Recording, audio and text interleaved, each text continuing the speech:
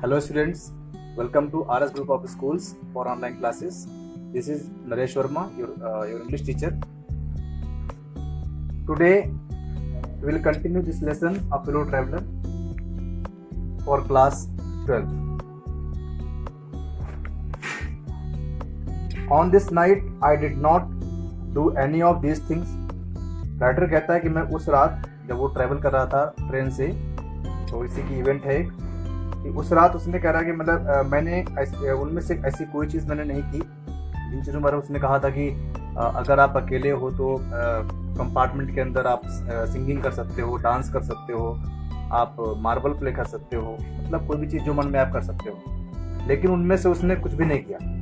They did not happen to occur to me और कह रहा है, वो कह रहा है कि मतलब ये चीज़ें मेरे दिमाग में आई भी नहीं। वॉट आई डिड जो मैं, जो कुछ मैंने किया वॉज़ मच मोर ऑर्डनरी वो क्या था? कुछ ज़्यादा ही ऑर्डिनरी था।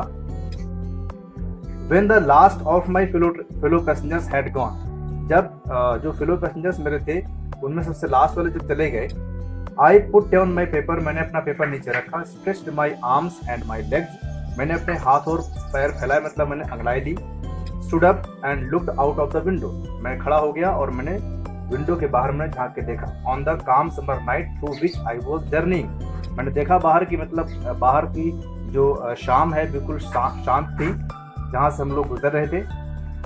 Noting the pale remnants of of day that still lingered in the northern sky और मैंने ये नोट किया कि नॉर्दर्न स्काई में अभी भी जो दिन का खत्म होने का जो पीलापन था आसमान में, वो अभी भी मतलब वहाँ पे था।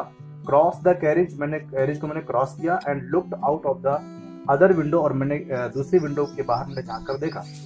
लेटर सिगरेट मैंने अपने सिगरेट जलाई सेट डाउन नीचे बैठ गया and began to read again और फिर से मैं, आ, मैं अपना पेपर पढ़ने लगा। इट वॉज़ देन तभी क्या हुआ that I became aware of my fellow traveller तभी मैं अपने फिलो ट्रेवलर से मैं परिचित हुआ। He came and sat on my nose वो आया मेरी नाक के ऊपर बैठ गया।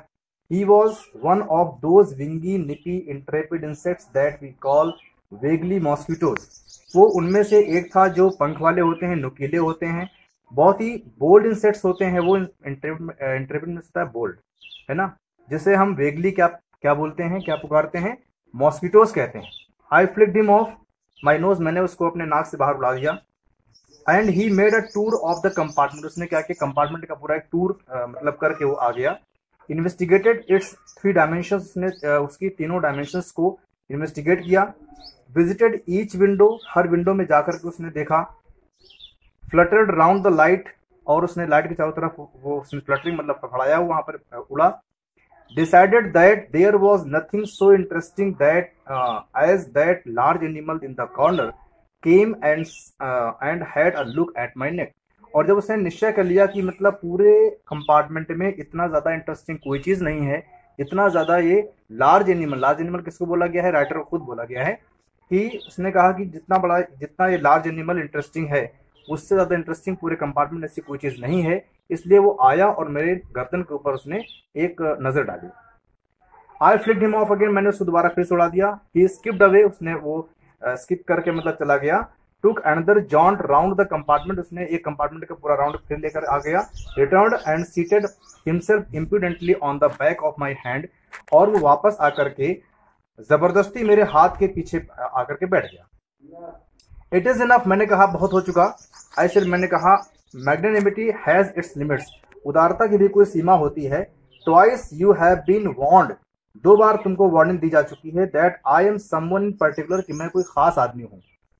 That my august person resents the tickling impertinence of the strangers मेरे अंदर का जो स्वभाव है, वो स्ट्रेंजर्स के धृष्टता को मतलब स्ट्रेंजर जो स्ट्रेंजर्स होते हैं, उनकी ज़बरदस्ती को बर्दाश्त नहीं करता है। I assume the black cap मैं अपने आप को ब्लैक कैप मानता हूँ। ब्लैक कैप मतलब बोला गया है जस्ट मतलब जैसे जस्टिस हूँ मैं। मतलब मैं अपने आप को जज मानता हूँ। I condemn you to death और मैं तुम्हें सजाए मौत देता हूँ। जस्टिस डिमांड्स इट न्याय की भी यही मांग है and the court awards it और जो अदालत है वो इसको पुरस्कार देती है, अर्थात अदालत भी इसका समर्थन करती है। The counts against you are many तुम्हारे खिलाफ बहुत सारे आ, मतलब काउंट्स मतलब यहाँ पर हो गया इल्ज़ाम। बहुत सारे इल्ज़ाम तुम्हारे ऊपर तुम्हारे खिलाफ हैं। यू आर अ वैग्रेंट पहली बात तो तुम आवारा हो। You are a public nuisance तुम पब्लिक के लिए बहुत ज़्यादा परेशान करने वाले हो। You are travelling without a ticket तुम बिना टिकट के तुम यात्रा कर रहे हो। You have no meat coupon तुम्हारे पास मीट मीट खाने का कोई कूपन नहीं है। मतलब तुम्हारे पास कोई भी आ, अधिकार नहीं मीट खाने किसी का।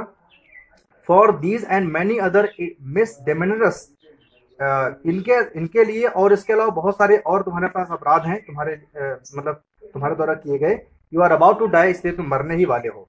I struck a swift lethal blow with my right hand मैंने क्या किया? बहुत तेज़ी से मैं झटका उसको और अपने दाहिने हाथ से मैंने उस, उस, उस पर जो है तेज तेज वार किया। He dodged the attack with an insolent ease the that humiliated me उसने क्या किया मेरे अटैक से वो बहुत आसानी से बच गया और जिससे मुझे बहुत ज़्यादा मुझे अपमानित मुझे महसूस होना पड़ा। My personal vanity was arouse मेरा जो जो मेरा स्वाभिमान था वो जाग गया। आई लंज्ड एट हिम मैं उसकी तरफ़ भागा विद माई हैंड मतलब अपने हाथ से मैं उसको उस पर वार करने के लिए मैं भागा उसकी तरफ़ विद माई पेपर अपने पेपर से मैंने वार किया। I jumped on the seat and pursued him round the lamp मैं अपनी सीट पे उछल करके और उसके पीछे मैं लैम्प की तरफ़ भागा।